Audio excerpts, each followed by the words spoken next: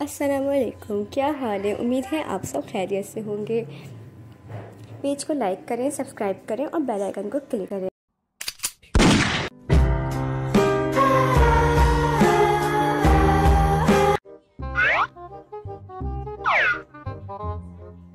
Oh